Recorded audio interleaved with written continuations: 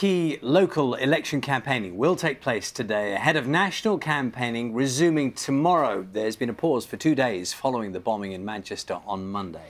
UKIP will also launch its manifesto today after postponing it from yesterday. Let's get more from our political correspondent, Leila Nathoo. Understandably, Leila, there has been a pause in campaigning, but um, local level campaigning beginning today. Always going to be difficult. Uh, last night's event, Manchester United. It's such an important match, but in in these circumstances, it was going to be difficult. It was certainly going. It's such an important match, but in in these circumstances, it was going to be difficult. It was certainly going to be very emotional. Um, I think you know anyone who was watching last night, and certainly if you you know talk to any football fan, the will of the nation was that Manchester United won last night, of wasn't course, it? Yeah. And I think um, lots of the players, lots of the people who had to go, maybe didn't feel like they wanted to go to a Europa League final last night. Maybe didn't feel at the start of the game like they wanted to sing. Um, it was very subdued at the start, but they won. They won 2 0, and that's something certainly for uh, the city of Manchester to games this week as well. That's right, and there was a, a, a, moment, wasn't there, when perhaps the Manchester games might later actually um, bronze medalist, Olympic bronze medalist. She's going to be competing in the city games, and she's very much, you know, standing firm, supporting Manchester, yeah. and, and carrying on. As so many people have said, they want to continue. Yeah, lots of people think the same, I'm sure. Yeah. So thanks very much. See you later okay. on.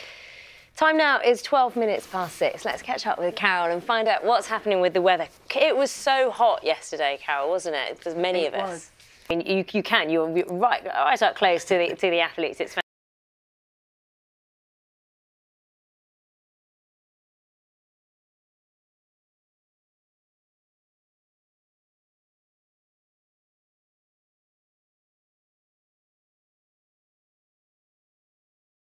Fantastic. Bernard, I wonder, you know, with an event like the Manchester Great, the Great Manchester City Games, when people are so close, how, how does that change in terms of organisation or preparation? Does it, or do you just say it? You know, as Ashley said, we're defiant, we're brave, we're going to, we're going out there to do our jobs, we're there to entertain and be, you know, be as one, support our city. Well, later, actually, um, bronze medalist, Olympic bronze medalist. She's going to be competing in the City Games, and she's very much, you know, standing firm, supporting Manchester, yeah. and, and carrying on. As so many people have said, they want to continue. Yeah, lots of people lives. think the same. I'm sure. Yeah. So thanks very much. See you later okay. on. Time now is 12 minutes past six. Let's catch up with Carol and find out what's happening with the weather. It was so hot yesterday, Carol, wasn't it? There's many it of was. us. I mean, you, you can. You're right, right up close to the to the athletes. It's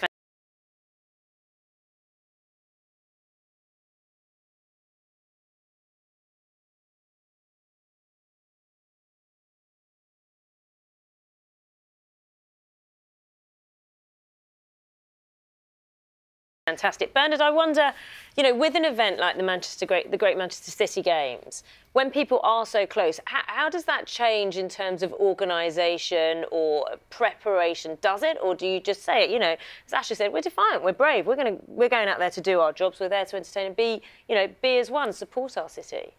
Well.